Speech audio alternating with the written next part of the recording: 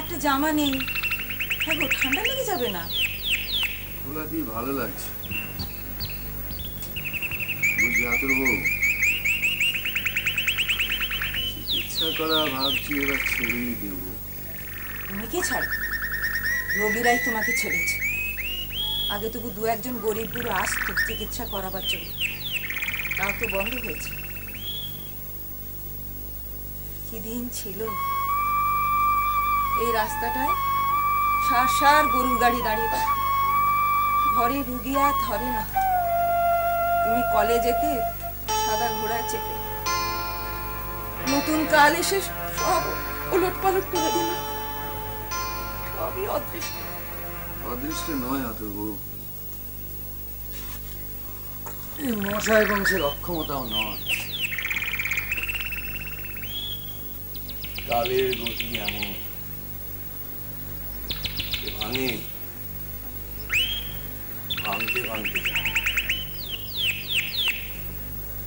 আমার ঘরে বড় বড় হাসপাতাল ভালো ভালো ডাক্তার হ্যাঁ আসি রে পেলাম ডাক্তার দাদা তারপর আপনার কাছে আসলাম আমার বাড়ি একবার যেতে হবে যে কেন রে কি হয়েছে ওই মারে একবার দেখবেন কি হয়েছে মা? ওই মাসখানিক আগে পুকুরের ঘাটে পা পিছলে পড়ে কিছু জিমনাস্টের হলো ব্যথাটা বেড়ে উঠেছে। হাসপাতালে নিয়ে যেতে বলল এক্স রে করতে হবে। সে তো যেটা অনেক খরচা অনেক ঝঞ্ঝা। তো ভাবলাম যাই একবার ব্যথা কাটে বেশ কাল সকালে গিয়ে একবার দেখে আসব। না সেটা সকালে গেলেই হবে না। এখনই একবার চলেন। বেদনাথ চৌধুরী বুড়ি খালি ছিল হচ্ছে আর আমাদের গালাগাল করছে। বলছে নিজের মেয়ে হলে এমন অচিকিৎসায় ফেলে রাখতে পারতিস? চেষ্টা করেন যেটা মায়ের কোনোদিন অযত্ন করি দেন সেই মায় কিনা আমার শেষ পর্যন্ত। ঠিক আছে কাঁদিস না। তুই যা আমি আসছি। আসি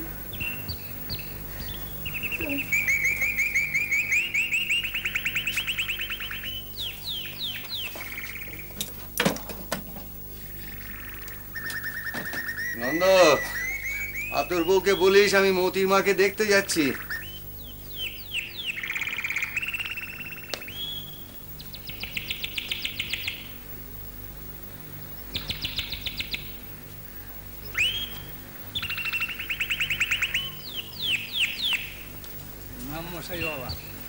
নাতি কেমন আছে হরকেষ্ট? আগে ভালো আছে। কাল হাসপাতাল থেকে সারান পেয়েছে। হাসপাতালে দেবার আমার একদম পছন্দ ছিল না। ছেলেরে কত করে বললাম ধন্বন্তরী মশাই বাবা থাকতে আবার হাসপাতাল কি জন্যে? আমার কথা শুনলো না। একালে কত ভালো সব চিকিৎসা এসেছে। ছেলে তোমার ঠিকই করেছে। কালের সঙ্গে তাল মিলিয়েই না চলবে মানুষ। আমরা তো সব সেকেলে বুদ্ধি গো। আমরাও তো সেকেলে রয়ে গেছি। তাই এই মশাই বাবাই আমাদের মা বাবা ডাকে যাচ্ছেন? হ্যাঁ মতির মায়ের পায়ে চোট লেগেছে দেখতে যাচ্ছি একবার।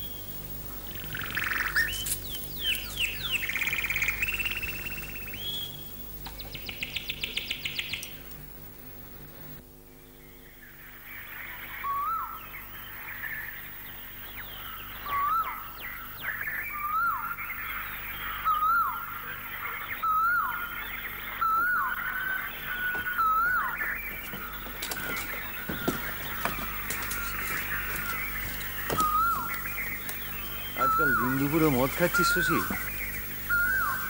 গুরুজি? ওট ওট ওট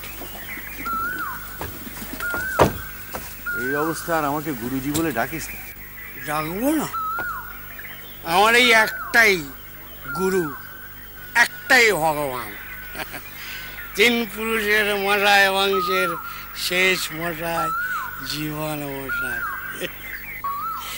যেখানেই থাক মৃত্যু নারী ধরে ঠিক নিদান হেঁকে দেবে। সে এখন কোথায়? কত দূরে? ওর নারী ধরে নিদান হাঁকতে পারবে কোন সারা তুই থাম তো শশী। ডিসপেন্সিং দাবা খাওয়া আর ওই নাম সংকীর্তনে দোয়ার কি? এই তিনটে জিনিস তিনটে জিনিস জিনিসের গুরু আমার। জীবন তুই এই তিনটেতেই আমার নাম রেখেছিস হ্যাঁ? তা রুগী মেরে ফিরছিস না মারতে যাচ্ছিস? লোকে তোকে এখনও ডাকে? ডাকবেই। বর্ধমানে কম্পাউন্ডিং পাশ করেছি আর এই জীবন মোড়ের কাছে ডিসপেন্সিং শিখেছি। ডাক্তারি আমি জানি হ্যাঁ? এই এই বুক ঠুকে বলছি জানি। গরিবের দেশে আটানা চারানা ভিজিটার ডাক্তারদের মান নেই। ও উপসী সারারা ডাকবেই। রোজ চারটে টাকা আমার বেশি আমি চাই আজ পাঁচ টাকা পেয়েছি এক টাকার মদ খেয়ে নিচ্ছি হিসেব তো ঠিকই আছে। থাকে থাকে হিসেব হিসেব হিসেব ঠিক ঠিক থাকে। ঠিক থাকে। তুই কি পথের মাঝখানে বসে এখন হুঁকো খাবি অঙ্কুর না খেলে নেশা কাটবে না আমি ছেলেটিকে বলে দিচ্ছি আমি মরে যেন আমার চিতে হুঁকো কলকে তামাক টিকে দেয় দেশাই চাই। ওই চিতের আগুনই চলে ঠিক আছে তুই তাহলে বসে হুঁকোই খা। আমি চলি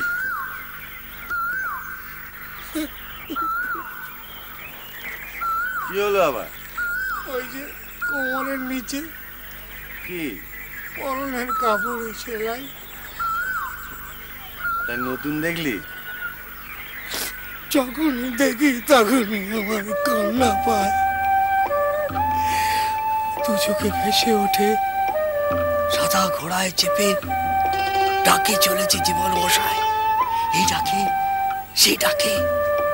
ডাক আর ডাক আর গণিকেতনে আমি শুধু তিনজন কম্পাউন্ডার ওষুধ দিতে একেবারে হিমশিম খাচ্ছি। শুধু ওষুধ তৈরি হচ্ছে। টাকা ধরে না। কালে আমি কি দেখি? ওই ওপরে ওই ওপরে এক গোষ্ঠীর ভগবান আছে। মনুষ্য সেবার এই বিচার। পদ্মরাজ ছেঁড়া কাপড় পরে চিতায় উঠবে ছি ছি ছি। শশী কালের নিয়মে যা হয় তার জন্য আক্ষেপ করে কি লাভ? তাই বলে হাসপাতালের ওই প্রত্যেক ডাক্তার জীবন মহারাজকে বলে গোবন্তি হাতুড়ে দু তিনটা ছোকরা দাও তার দিন নারী ধরে নিতা নাইতে না রে আমি এবার যাই। শোন, তোর নেশাটা একটু কমা বাবা। তোকে দেখলে যে কষ্ট হয়।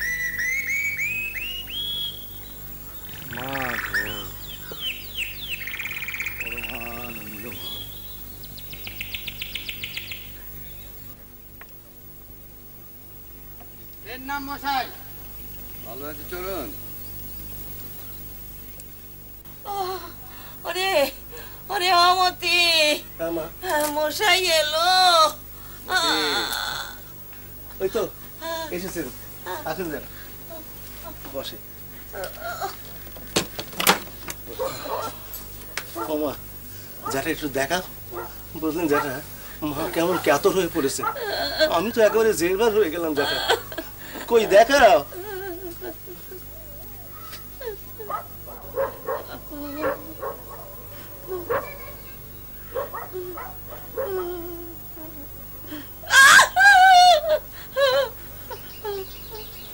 খুলেছি। হাতটা দেখি।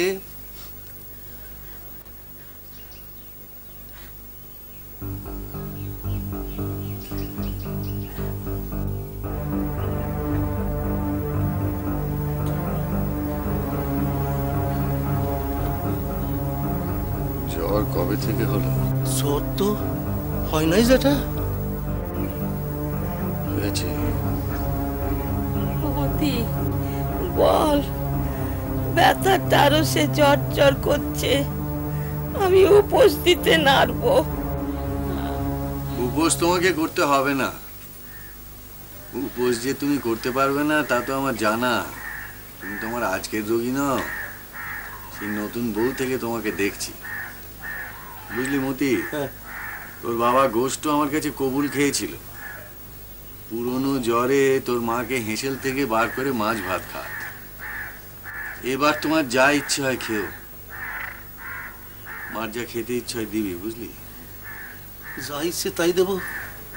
আর ওষুধ? কিচ্ছু না। মিছিমিছি পয়সা নষ্ট। বুড়িকে ভালো করে খেতে দে। জল দে।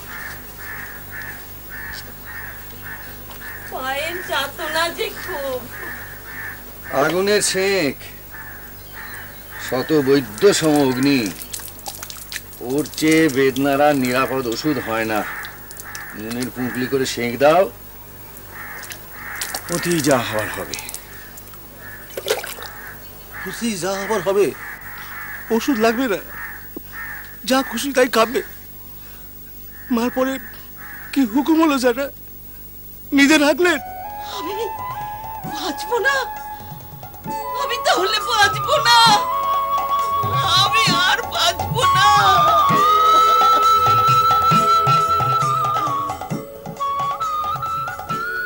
বয়সে তাতেই বা তোমার দুঃখ কিসের গো? নাতি পুতি ছেলে বউ রেখে ড্যাং ড্যাং করে চলে যাবে। মতিরে হ্যাঁ? মাকে বরং তীর্থে নিয়ে উদ্ধারণ করে। পাড়াগাঁ গঙ্গার তীরে মনে শান্তি পাবে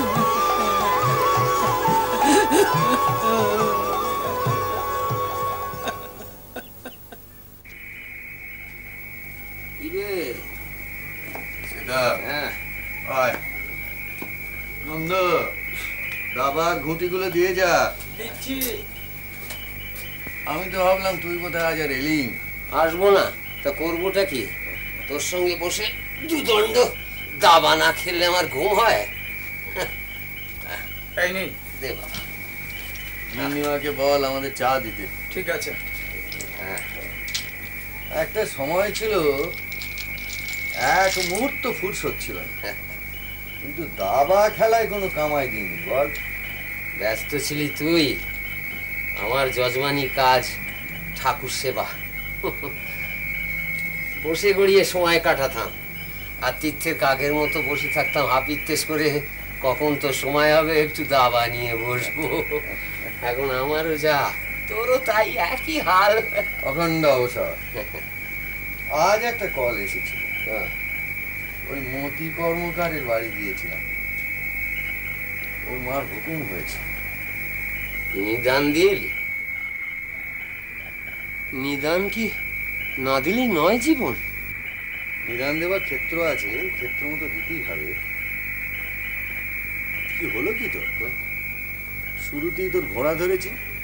ঘোড়া ধরেছিস? ওরে জীবন দত্তের ঘোড়া নয় যে চলে যাবে। এ হচ্ছে শ্বেতাব মুকুজ্জের টাট্টু। নে তোর ওই গজ সামলা। হাতির প্রাণ বুঝলি? অত সহজে মরে না। বাইরে খুব ঠান্ডা হাওয়া দিচ্ছে রে। চল জীবন ভেতরে চল। আমার কেমন গা শিশির করছে রে। শিশির করছে? আমার তো আরাম বোধ হচ্ছে। হবে না? এত চর্বিতে শীত লাগে কখনো? আমার ভালো লাগছে না রে। জ্বর হয়নি তো? দেখি হাতটা দেখি। না তোর ওই এক বাতি। খালি দেখি হাত দেখি হাত। আহা হাতটা দেখালে তোর কি হয়েছে দেখি হাতটা দে। না না ছাড় জীবন হাত ছাড়। পাগলামি করিস না সেটা নারীটা দেখতে দে। না না হলো কি তো রাগ করিস না? নারীটা দেখতে দে না। নিজের নারী নিজে দেখ। পরের নারী দেখে নিদান হাঁকিস? নিজের নিদান নিজে হাঁক। তুই যাবি? তুই যাবি? এই আমি বলে গেলাম কি হলো কি এমন চেঁচামেচি করে চলে গেল কেন? জ্বর হয়েছে নারী দেখতে চায় না। না এই কনকনে ঠান্ডা হাওয়ায় ওকে এতখানিটা পথ যেতে দেওয়া ঠিক হলো না। আটকে রাখা উচিত ছিল। ওই বয়সী লোককে তুমি আটকাবে? কেন? সে নিজের ভালো বুঝতে পারে না নাকি? ও যেমন করছিল তা একটা প্রচ্ছন্ন বিকার। কিছু ওষুধপত্র তৈরি করে বাড়িতে যাব। তোমার কি মাথার গন্ডগোল হয়ে গেছে? এখন তুমি যাবে? তোমাকে সে নারী দেখতে দেবে না তোমাকে তোমার ওষুধ খাবে সে? শুনি। কাল সকালে যাও। বেশ। তাই যাব। ঘরে তুমি? আর বাইরে আপন বলতে তো ওই এক সেটা। বুঝলে আদরবু এই দাবা খেলাটা তো ছক আসলে বুড়োতে দাবার ছক পেতে বসে দুজনে দুজনকে আঁকড়ে রাখতে চায়। কে কখন কাকে ফাঁকি দিয়ে আগে পালিয়ে যায় তাই ভয়। সেতাব ছাড়া যে আমার কাটে না চলে গেলে আমি থাকব কাকে নিয়ে?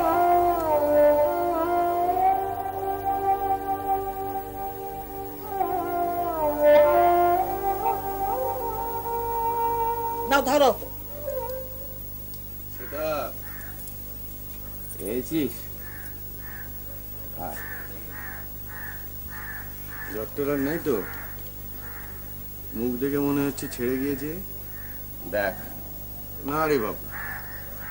কাল তোর হাত দেখতে গিয়ে রাত্রিরে যা করলি, তোর চিন্তায় রাত্রিরে ভালো করে ঘুমই হলো। তুই নিদান হাঁকলেও হাঁকতে পারিস। জীবনে আমার ঘেন্না ধরে গেছে। কাল রাতে বুড়ি যা আমাকে বকলে তোকে কি বলব? তোর পর্যন্ত বাপান্ত করে ছাড়ি। কেন বউটান আমার কি দোষ পেল? ওই যে তোর নাম করে বললাম জীবন বলেছে সর্দি জ্বর হয়েছে গরম লুচি খাস। বুড়ি বললে কি? জ্বর ধেয়ে আসার মুখে লুচি? এই বলে আমার ছেঁড়ার দুটো করলেই তোরও বাপান্ত করে ছাড়ল। সারা রাত বসে আছি জানিস কি করব? বসে বসে তামাক টানছি।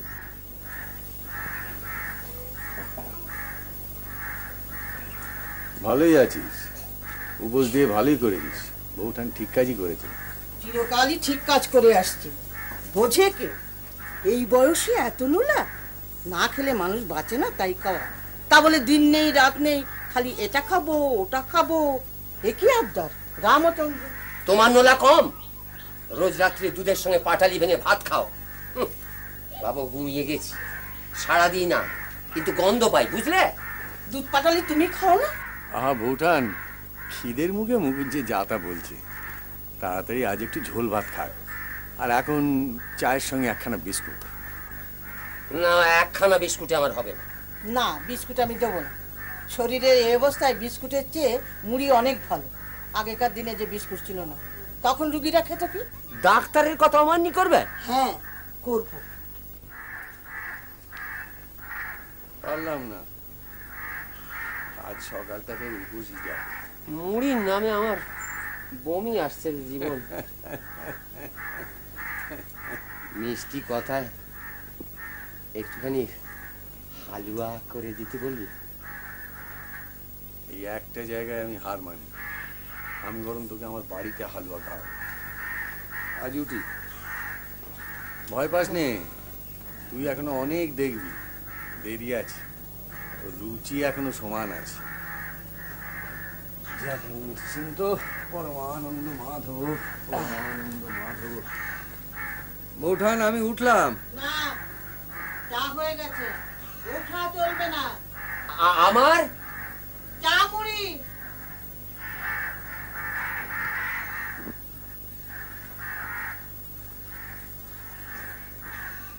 খা।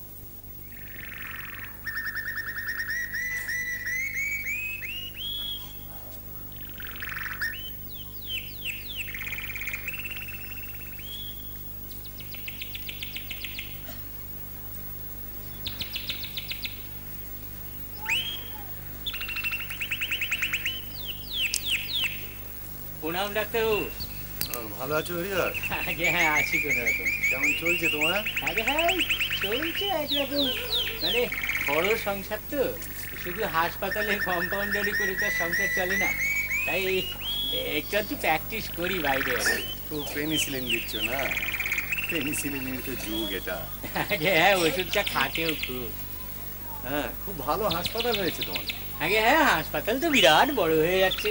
বেডও অনেক বাড়ছে। তারপরে ধরুন নতুন ডিপার্ট সব খুলছে এই মাতৃমঙ্গল শিশু মঙ্গল সার্জারি ওই ওই তো ওইদিকে হেলথ সেন্টারে নতুন বাড়িও উঠছে। রোগও যেরকম সমস্ত দেশ ছেয়ে ফেলছে তাতে এমনি বিরাট ব্যবস্থা ছাড়া তো প্রতিবিধান সম্ভব নয়। বুঝলে হরিহর এসব দেখি আর বড় আফসোস হয়। ডাক্তারিটা যদি করতে পারতাম। কি যে বলেন আপনি রঙ্গলাল ডাক্তারের মতো ডাক্তারের কাছে আপনার শিক্ষে। আপনার মতো ডাক্তার কজন আছে এই গ্রামে? কত বড় এলোপ্যাথ ছিলেন তিনি? কিন্তু সেই শিক্ষা তো আমার এগোয়নি হরিহর। তোমাদের এই বিদ্যা তো প্রতিদিনই এগিয়ে চলেছে। তাছাড়া আমি তো পাশ করা ডাক্তার নই। আমাকে আমল দেবে কেন মানুষ আগে ওই ফজলুর ডাক্তারবাবু আসছেন। আমি যাই ডাক্তার সময় মতো হাসপাতালে না গেলে উনি আবার বড্ড রাগ করেন।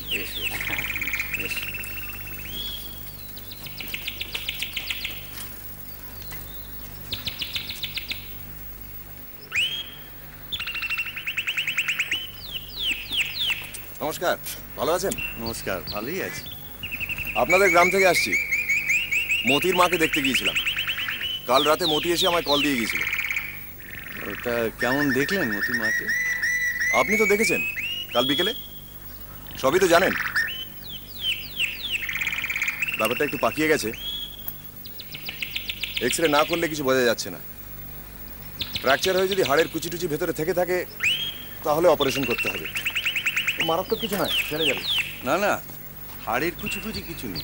ফ্র্যাকচার নয়। ফ্র্যাকচার নয়?